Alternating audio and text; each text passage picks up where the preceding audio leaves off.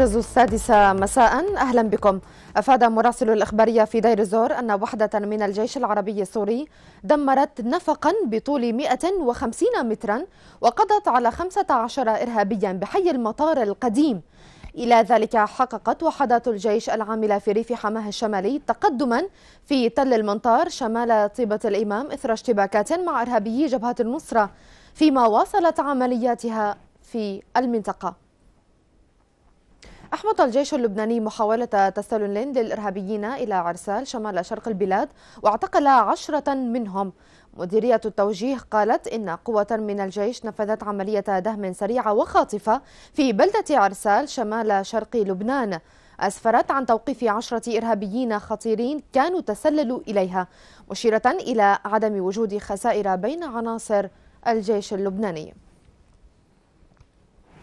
سيطرت القوات العراقية على حي الصحة الثانية في الجانب الأيمن لمدينة الموصل بعد معارك وصفت بالعنيفة مع إرهابي تنظيم داعش.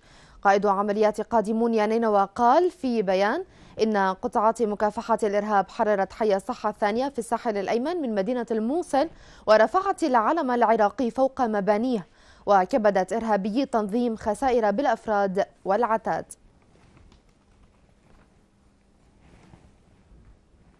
في الأرض المحتلة أصيب فلسطيني برصاص مستوطن إسرائيلي في منطقة كرما بمدينة الخليل جنوب الضفة الغربية.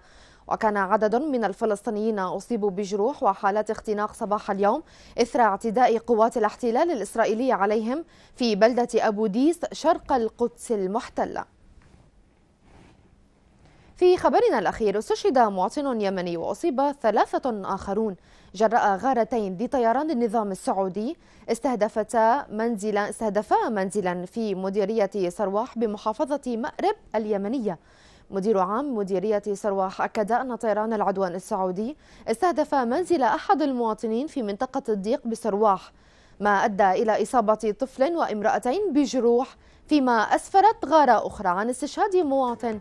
واحتراق سيارة. ختام الموجز إلى اللقاء.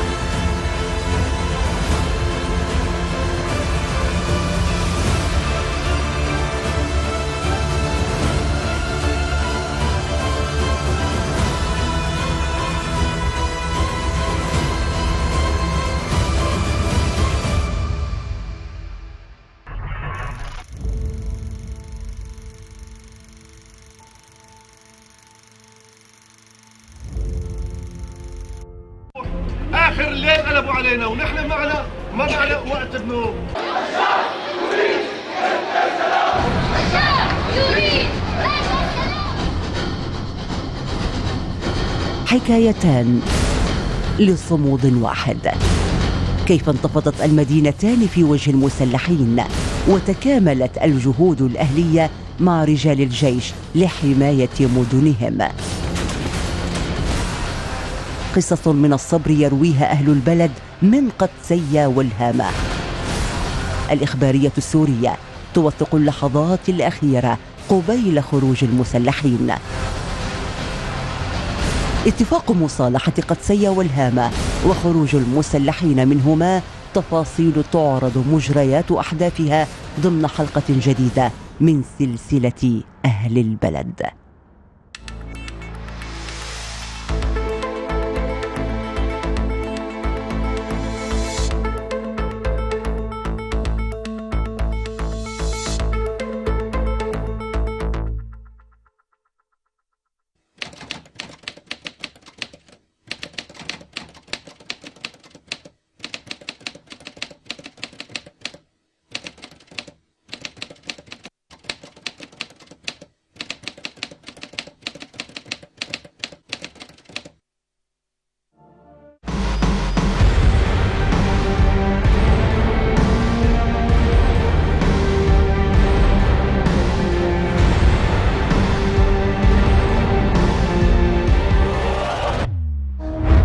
جرائم تنظيم داعش في الرقة. سنتحدث اليوم. واحد لقاني وراح شو بعدين كان جابني حطني بغرفة وسكر باب وقال انت جابني حطني بغرفة وسكر باب وقال انت صرت ملكي. قال انت صرت ملكي. أبشع صور الاستغلال. لم يسلم الأطفال من جرائم هذا التنظيم الإرهابي. اتركني وأبكي وأترجى وما ما اتركني وأبكي وأترجى وما ما اتركني وأبكي وأترجى وما ما وحدها المعاناة تبقى حاضرة كما الموت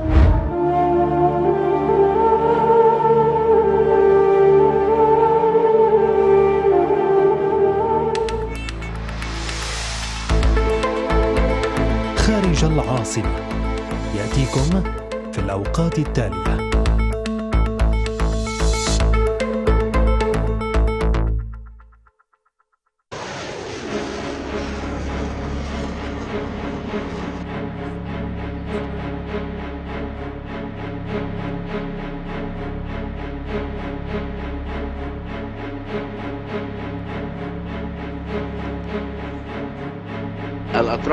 قامت بهذا الهجوم لا تهتم بأي شكل من الأشكال في أي تحقيق محايد من أي سلطة دولية مستقلة للتحديد تمام ما حدث في خان شيخون. أقول مرة ثانية أنتم تخافون من هذا التحقيق. أنكم تخافون من أي تحقيق مستقل ومحايد. وما يحدث إن كانت استنتاجات التحقيق تتناقض وموقفكم المعادي للحكومة السورية.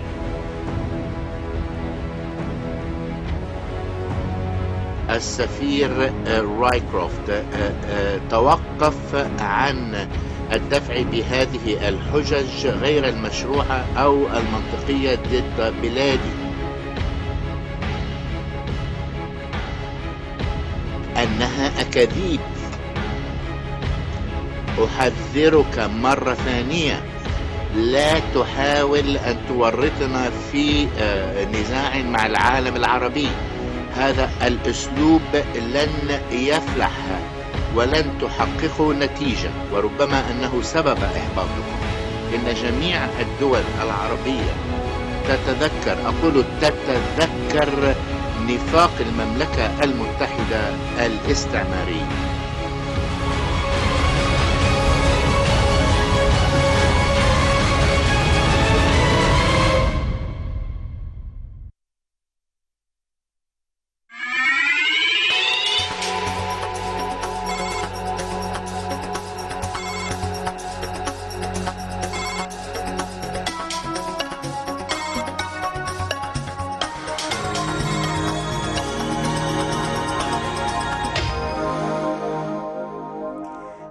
بكم مشاهدي الإخبارية السورية في حلقة جديدة من برنامج الموشور. تنقلت وسائل الإعلام العديد من الأخبار حول نية وزارة التربية تغيير المناهج المدرسية لعدة مراحل دراسية بأخرى متطورة. ولعل السؤال الذي يتوجب طرحه خلال هذه الفترة. يتمثل في إمكانية طباعة وتجهيز الكم المطلوب من الكتب المدرسية للطلاب في كافة المحافظات السورية خاصة وأنه لم يبقى هناك وقت كاف لهذا الأمر. فيا ترى ما تفاصيل هذا الموضوع وماذا عن استعداد المؤسسة العامة لطباعة الكتب المدرسية؟ من جهة أخرى ماذا عن واقع الكتاب المدرسي في ظل مجانية التعليم؟ وأيضا توزيع الكتب مجانا لمراحل معينة وبأسعار رمزية لمراحل أخرى. في الوقت الذي ما زالت فيه الأصوات تعلو عن غلاء الكتب المدرسية.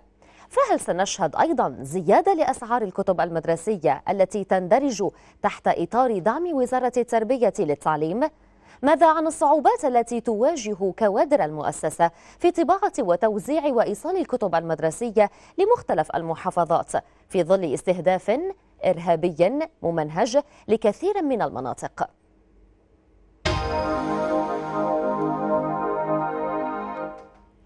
أعزائي المشاهدين للإجابة عن هذه التساؤلات يسرني ويسعدني أن ألتقي بضيفي في الاستوديو مدير عام المؤسسة العامة لطباعة الكتب المدرسية الأستاذ زهير سليمان. أهلا وسهلا فيك أهلا أستاذ زهير. وسهلا بكم. مساء الخير.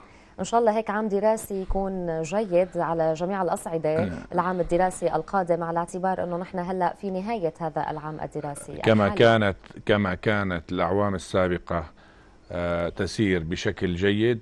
والكتاب المدرسي كان بين أيدي أبنائنا الطلبه قبل بداية العام الدراسي سيكون هذا العام كمسيلاته من الاعوام السابقة وأفضل.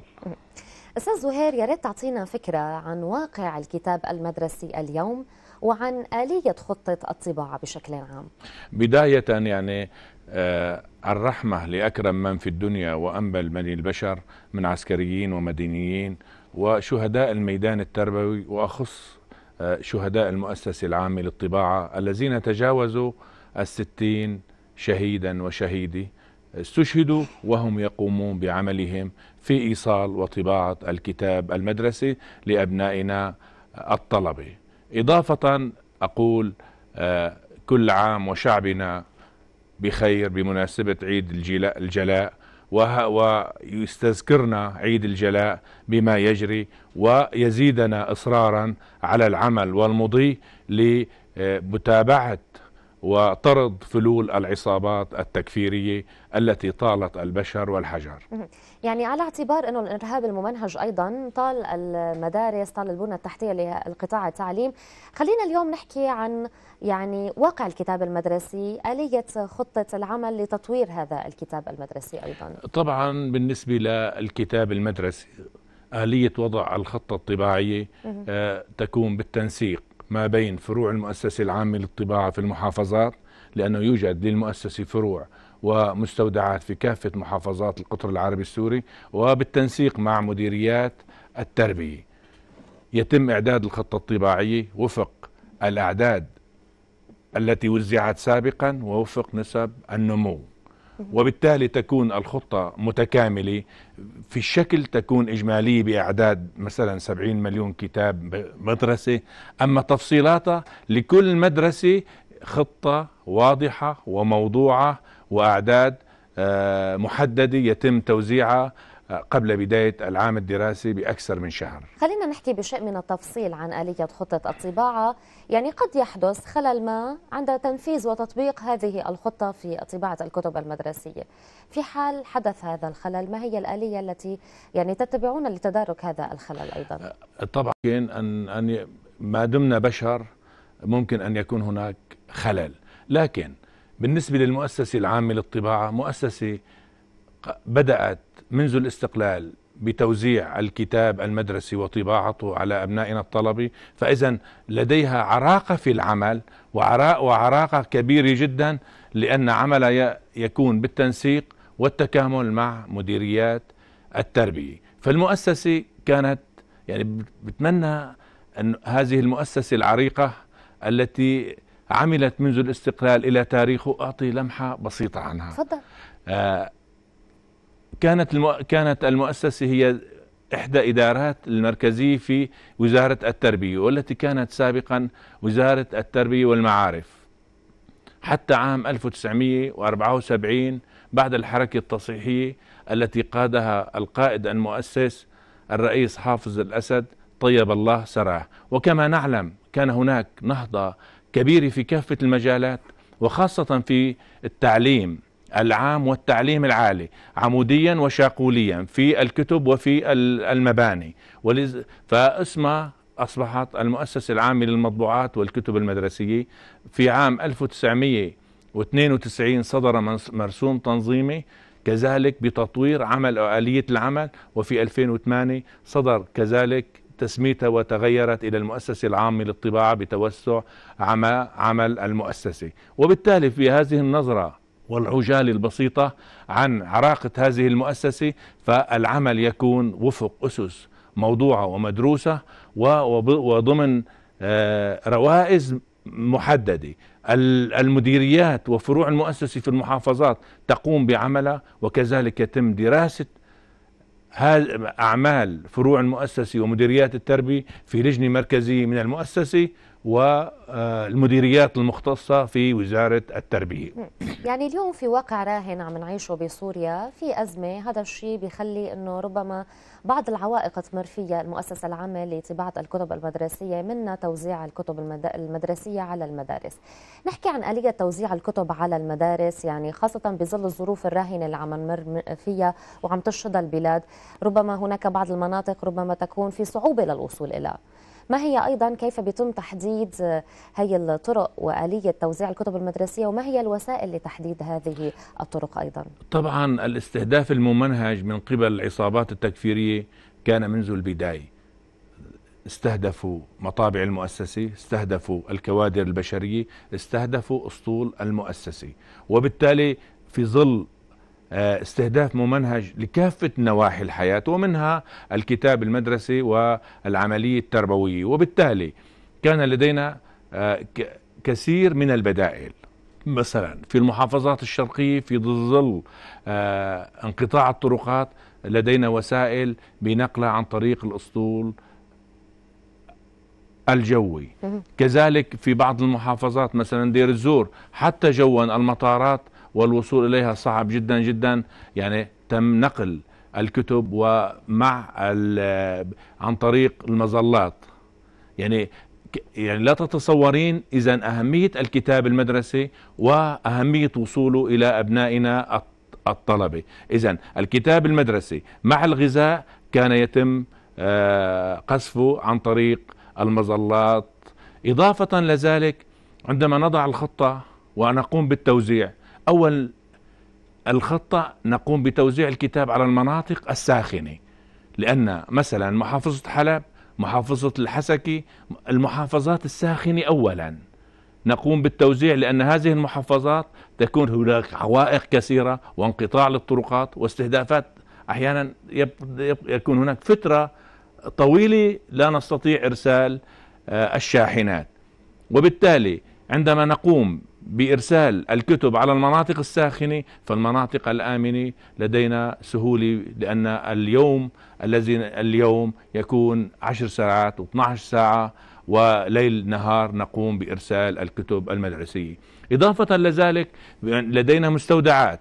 المستودعات المركزية استهدفت وبالتالي تم استئجار من آه، من مؤسسات العامة في اللاذقية مستودعات كبيرة جدا. نقوم بالتوزيع على المناطق على إدلب واللاذقية وطرطوس وحماه والمناطق القريبة آه، منها. عندما يكون كذلك استهداف للمستودعات الفرعية نقوم بتأمين مستودعات بديلة. إذا أي عقبة أي عقبة لدينا حلول مباشرة لأن كما تعلمين ويعلم المشاهد بأن المدارس موجودة في كل المحافظات والمباني موجودة في كل مكان والتعاون وثيق بيننا ومديريات التربية لأن عملنا متكامل. وبالتالي عندما عندما يكون هناك أي مشكلة الحل موجود وخاصة نحن في العام السابق. فالحلول أصبحت سهلة وخاصة في ظل الإنجازات جيشنا الباسل. يعني المناطق أصبحت والعمل أصبح أسهل من الأعوام السابقة. في عام 12 و13 كان هناك صعوبة كبيرة جدا جدا. أما الآن أولا اعتدنا وأصبحت المشكلات وراء ظهورنا لأن الحلول موجودة ونحن نعمل ليل نهار في سبيل إيصال الكتاب المدرسي لأبنائنا الطلبة. يعني الله يعطيكم العافية مثل ما ذكرت حضرتك أستاذ زهير يعني الكتاب المدرسي لا يقل ابدا أهمية عن الغذاء خاصة في ظل الإرهاب الممنهج اللي عم يتم استهداف بلدنا الحبيب من قبل بعض المجموعات المسلحة، خلينا نفوت بشيء من التفاصيل عن بعض الصعوبات اللي ممكن تعرضتوا لها خلال هي سنوات الأزمة. في ظل التطوير المستمر للمناهج الدراسية. كيف تستطيعون التوفيق بين تأمين الكتاب المدرسي وأيضا بالوقت وتستطيعون التوفيق بين تأمين الكتاب المدرسي وأن يصل بوقته وببداية قبل بداية العام الدراسي؟ في حال مثلا تأخر مركز تطوير المنهاج بدفع الكتاب المدرسي إلى المؤسسة. كيف تستطيعون التوفيق بين هذه يعني دخلتي لي حضرتك مجموعة أسئلة آه، بسؤال يعني. فسأبدأ من حيث بدأتي. آه، طبعا العقبات كبيرة جدا جدا منها تأمين المواد الأولية لأنها مواد مستوردة القطع التبديلية المواد كلها محظورة.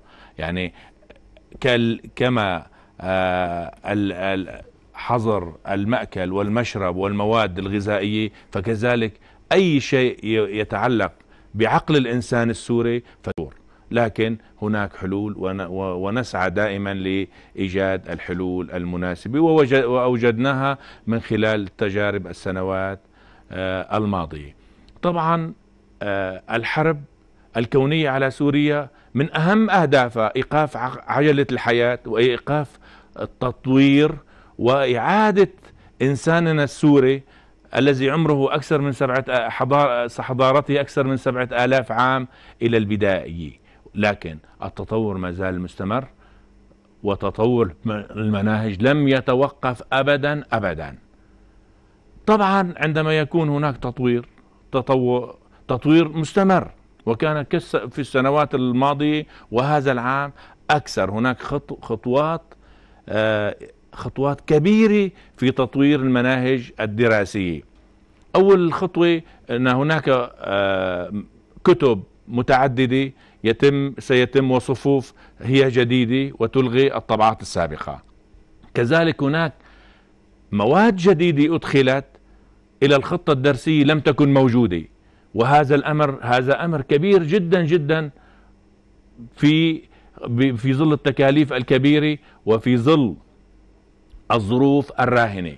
لكن آه، الجهات الوصائية الجهات الوصائية يعني اهتمام كبير بالتربية وبتنمية المهارات والتطور ومواكبة التطور العلمي. طبعا عندما نقول بأن هناك قولا واحدا الكتب التي تؤلف يتم تأليفها للمرة الأولى ستدفع في وقت متأخر قليلا عن الكتب الأولى. لكن ما هي الخطة والبدائل التي قمنا بها؟ بداية عملنا في وزارة التربية هو عمل متكامل مع بين المؤسسة العامة للطباعة ومديريات التربية ووزارة التربية. وهي ونحن نعمل ضمن فريق متكامل. وكافة التفصيلات التي تتم في الوزارة يتم الاطلاع عليها. يعني على سبيل المثال أنا أي مشكلة أي كل ما هو موجود وأكون مطلع عليه ومن السيد الوزير ومن المديريات المختصة في وزارة التربية. ما هي الحلول كيف سنستطيع هذا العام أن نقوم بطباعة الكتب الجديدة قبل بداية العام الدراسي وهي كتب كثيرة وبالملايين؟ أولا عندما نقوم بطباعة الخطة الطباعية نقوم بطباعة الكتب الشهادات. بالأولوية يعني. بالأولوية. الصف التاسع الصف التاسع التعليم الأساسي والثالث الثانوي بفرعيه العلمي والأدبي. وهذا العام يوجد في الصف في آه، الصف التاسع كتب الرياضيات هي كتب جديدة وتلغي و ومتطورة جدا جدا. إضافة إلى كتب اللغة العربية في للصف الثالث الثانوي بفرعيه العلمي والأدبي. الآن دفعت هذه الكتب وهي شبه منجزة. كما كنا نعد أبنائنا الطلبة بأن الكتب ستكون قبل واحد ستة من أجل الدورات الصيفية. هذا العام ستكون قبل 15 خمسة موجودة في فروع ومنافذ بيع المؤسسة العامة للطباعة. هذا العام بالنسبة للخطة الطباعية لدينا فصلين. الفصل الدراسي الأول والفصل الدراسي الثاني. كنا في السنوات السابقة نقوم بطباعة الفصل الدراسي الثاني من الصف من من من, من بعد بدء بعد توزيع كتب الفصل الدراسي الأول يعني نبقى ل 15 واحد من العام الجديد العام الماضي طبعنا الكتب الفصل الدراسي الأول والفصل الدراسي الثاني مع بعضهم. يعني كنا 15 8 طابعين الخطة الخطة الطباعية كاملة. للعام كله. وبالتالي بدأنا في بالخطة الطباعية لعام 2017 2018 كما تلاحظين هذه النماذج من هذه الكتب. بدأنا بواحد عشرة 2016 لحتى تكون هي الكتب هلأ موجودة. هذه الكتب كافة الكتب المستقرة. وبأعداد بالمئات طبعت والآن يعني اللمسات الأخيرة لكافة الكتب.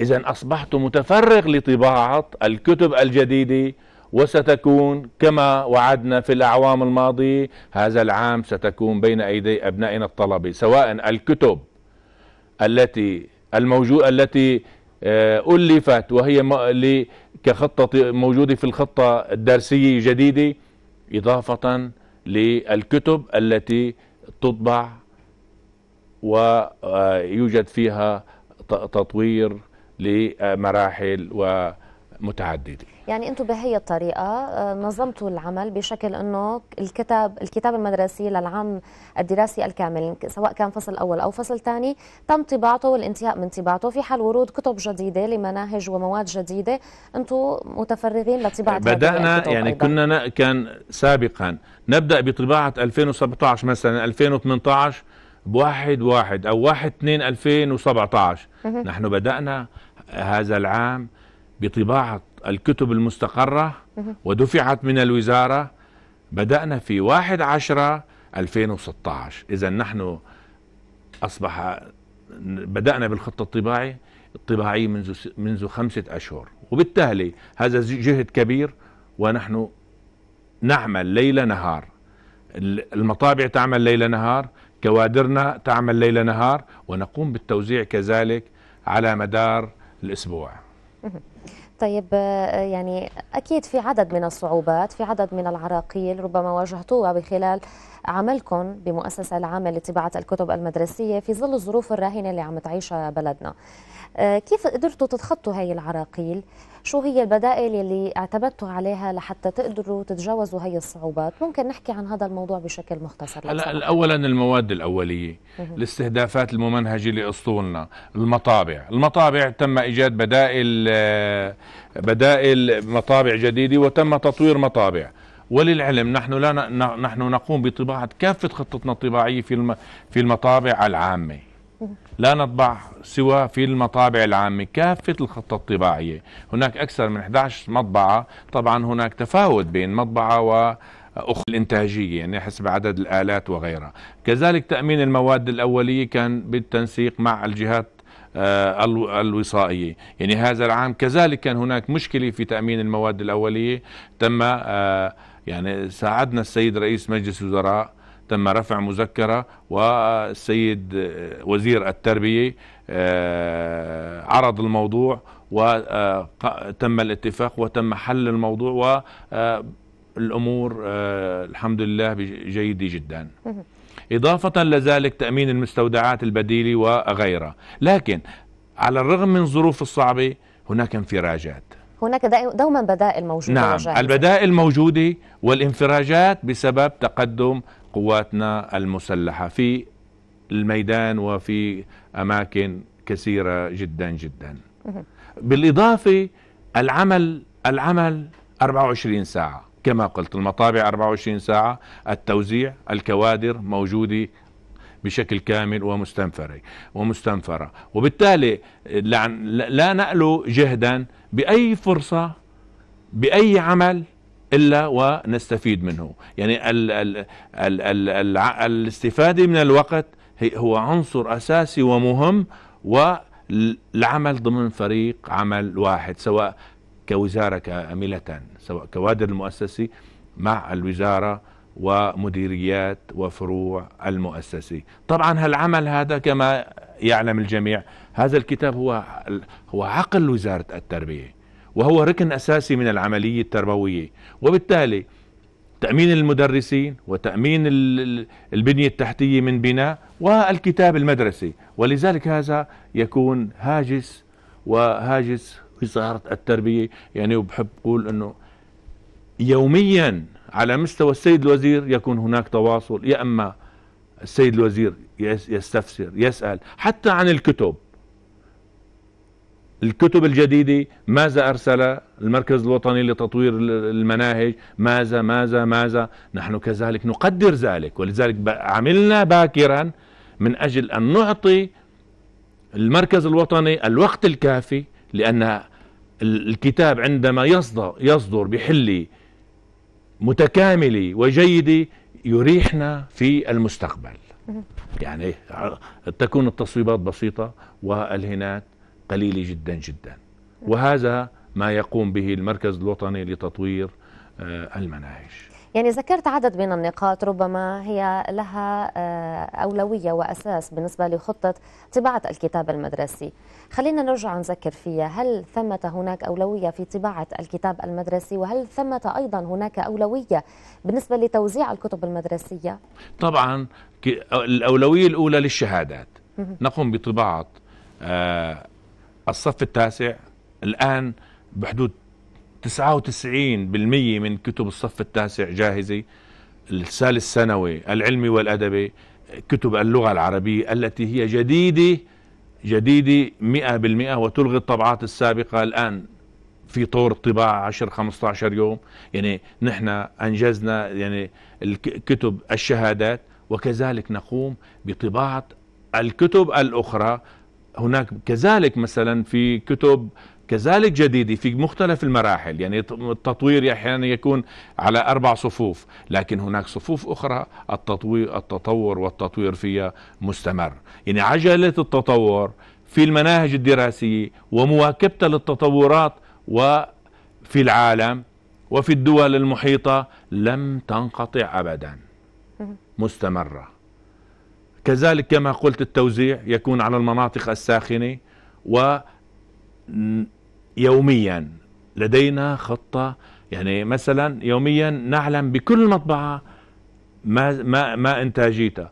نعطي كل مطبعة زمن محدد لكل كتاب مدرسي وبالتالي عندما توضع الخطط الصحيحة والمتابعة الصحيحة والمتابعة على تنفيذ الكتاب المدرسي وفق ما أرسل وفق ما دفع من المؤسسة إلى المطابع يكون وخاصة هناك تطور كبير والطباعة آه، أصبحت صناعة ولذلك تكون بمراحل متعددة سواء ما كان ما قبل الطباعة وما بعد الطباعة وأثناء حزم الكتب وتغليفها ووضعها في أماكن آه، مناسبة وملائمة والسيارات التي تقوم بنقل هذه الكتب إلى المدارس بحيث تصل إلى المدارس بشكل أنيق وجيد وكما تلاحظين يعني كتب في لا بجودة عالية وخاصة بأن الرسومات الموجودة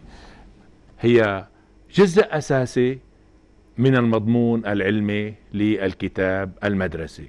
وقياس الكتاب المدرسي هو من القياس كالدول كباقي الدول وليس كما كان سابقا آه، أبيض وأسود كالتصوير و آه، ذو قياس صغير بحيث يأخذ التجليد قسم كبير منه وغير واضح. أما الآن فالكتاب المدرسي كتاب مضمونه جيد جدا وشكله وطباعته كذلك وهو شيق للطالب ولأبنائنا بمختلف المراحل الدراسية. آه، أستاذ زهير أثناء الأعداد لحلقة اليوم من برنامج الموشور يعني وردتنا إلى البرنامج العديد من الشكاوى من قبل المواطنين على ارتفاع أسعار الكتب المدرسية. هل ثمة زيادة بأسعار الكتب المدرسية هذا العام أيضا؟ اولا كما يعلم الجميع الارتفاعات كبيرة جدا بالنسبة للمواد الأولية والطباعة. كنا سابقا يتم شراء طن الورق بحدود خمسين ألف ليرة سورية. الآن ثمن طن الورق 600 ألف ليرة سورية. على الرغم من ذلك منذ ثلاثة سنوات لم يتم رفع أسعار الكتب المدرسية وهذا العام لن يتم رفع أسعار الكتب المدرسية وهي بأقل من التكلفة بكثير بكثير بكثير.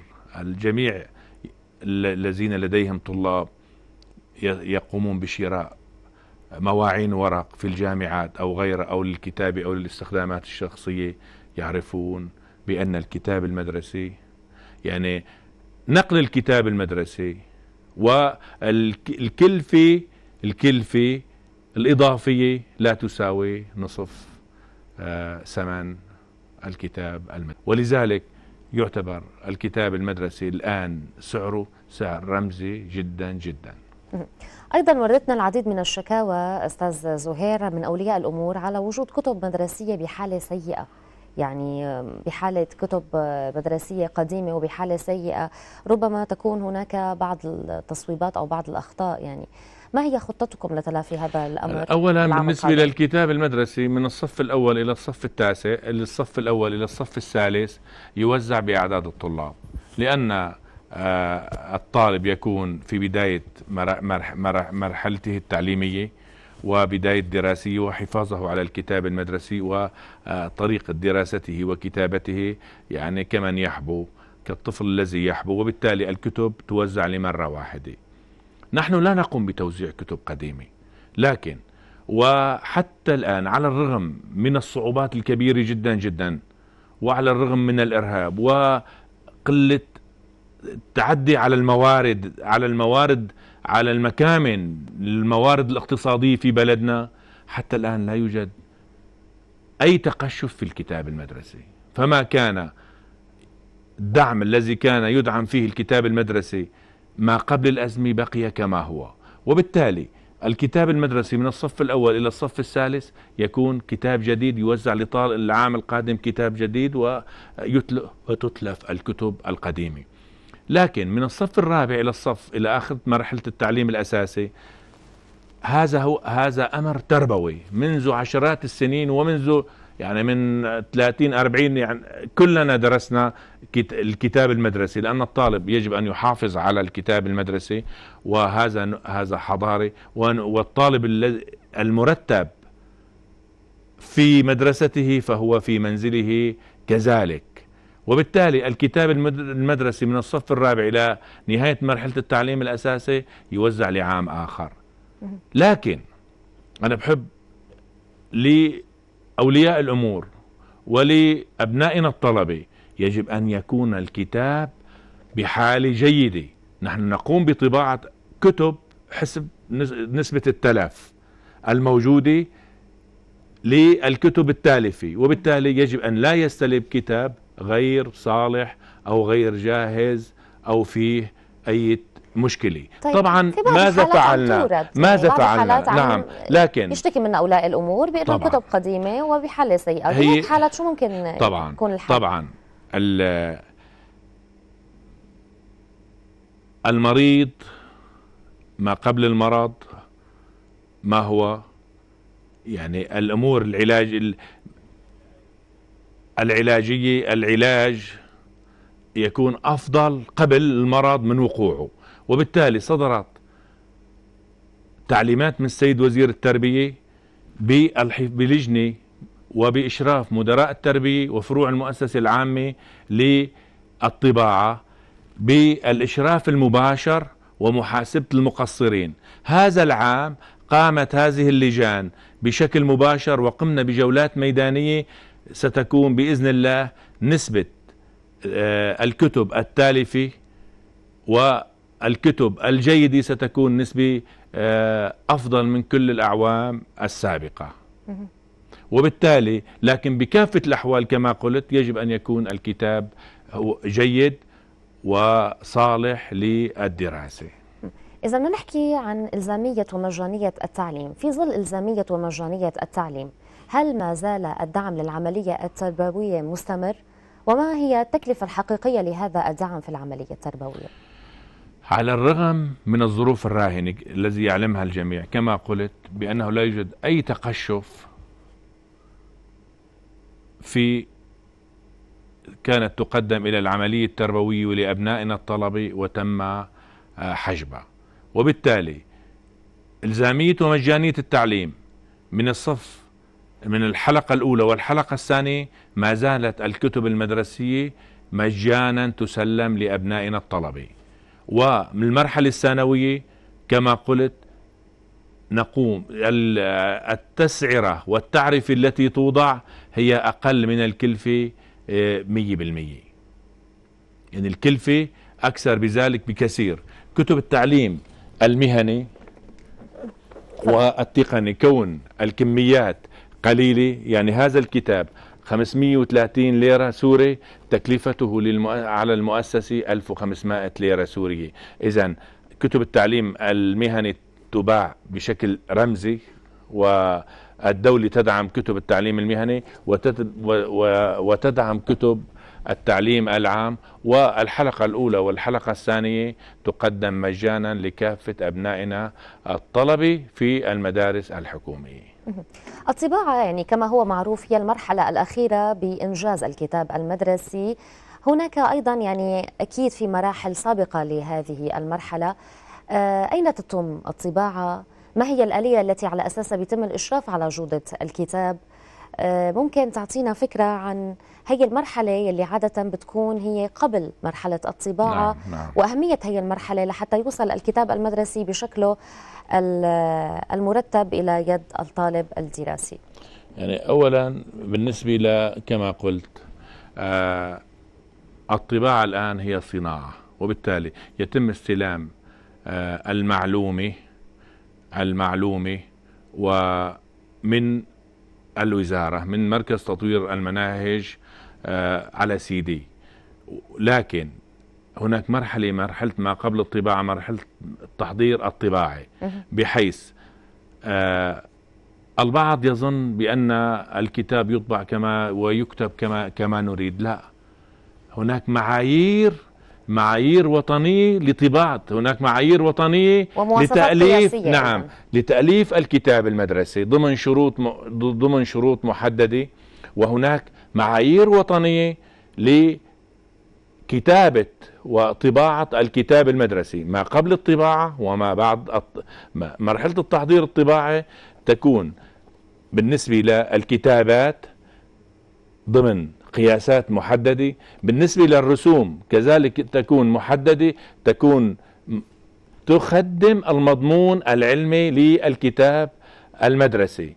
وهناك مختصين في المؤسسة العامة للطباعة تم تقديم تم آه، تقديم واتباعات متعددة في مجال التحضير الطباعي وفي مجال في مجالات الطباعة ولدينا تجهيزات متطورة في المؤسسة لمرحلة ما قبل التحضير الطباعي.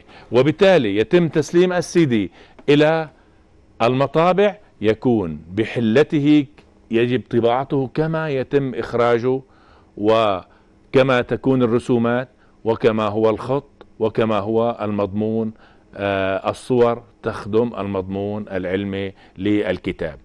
بعد دفع الكتب المدرسية إلى المطابع لدينا مديرية المتابعة الميدانية لدينا مهندسين وفنيين في كل مطبعة من, من هذه المطابع.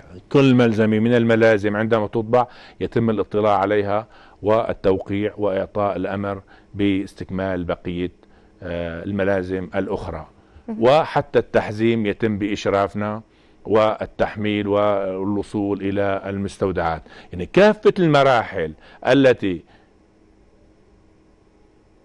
يتم إنجازها منذ بداية التحضير الطباعي واستلامنا المضمون العلمي للكتاب إلى مرحلة تسليم الكتب المدرسية إلى إدارات المدارس في كافة أنحاء القطر العربي السوري. يعني مثل ما ذكرت أستاذ زهير الكتاب المدرسي بالنهاية ليصير بإيد الطالب هو نتاج يعني عمل متكامل وتعب وجهد.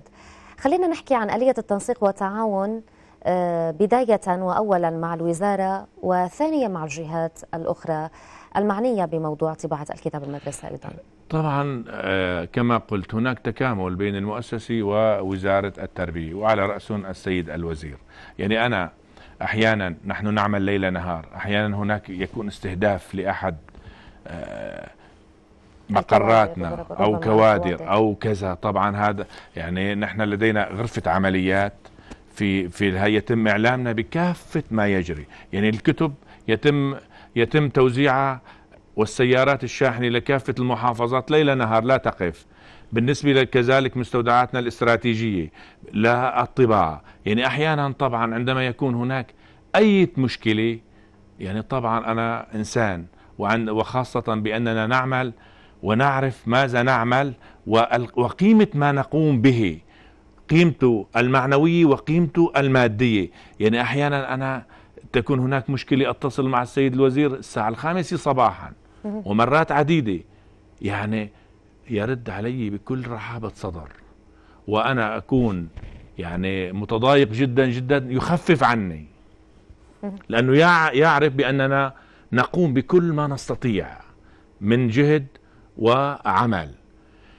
إضافة إلى التنسيق مع الإدارات المركزية بوزارة التربية و كما قلت نحن توأم حقيقي مع فروعنا مع مديريات التربية. فلولا الطلاب نحن لسنا موجودين. فالكتاب يجب أن يكون هناك طلاب وبالتالي كل تجمع مدرسي يوجد في مستودعات والكوادر تعمل وبلجان مختصة.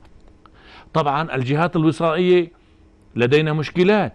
تأمين المواد الأولية تأمين القطع الأجنبي أحيانا تأمين يعني لدينا هموم أحيانا آه، تصدر تعليمات.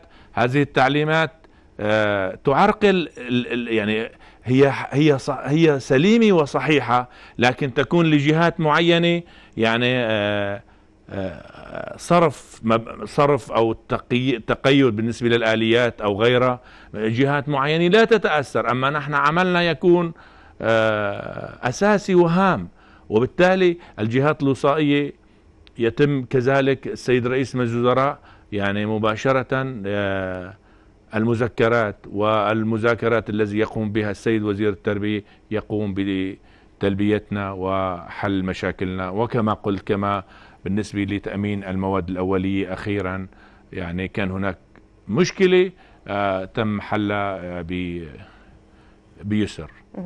حتى نرجع نذكر السادة المشاهدين أيضا بحلقة اليوم من برنامج الموشور على الإخبارية السورية من هذا المنبر أستاذ زهير. آه، هل سيكون الكتاب المدرسي منجز ومسلم وموزع بوقته ببداية العام الدراسي أو ما قبله ويكون في متناول اليد؟ يعني مع الحفاظ على خصوصية تغيير وتطوير المناهج العام القادم. ذكرت خلال الحلقة بأنه هو رح يكون في التزام ومثل كل عام يعني بتوزيع الكتب بوقتها المحدد. نرجع نذكر بهي التفصيلة لو سمحت. يعني إذا كان سيد الوطن على الرغم من مشاغله وعلى الرغم من الظروف الراهنة جل اهتمامه بالكتاب المدرسي. وبالتالي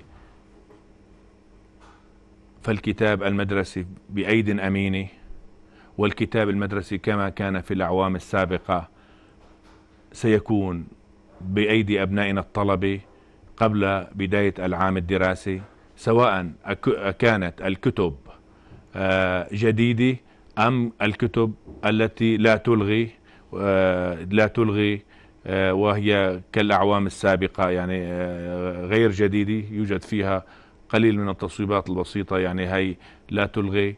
وبالتالي فقط المطلوب من أبنائنا الطلبة وذويهم الاهتمام ثم الاهتمام بالكتاب المدرسي والدراسي لأن أطفال اليوم هم رجال المستقبل.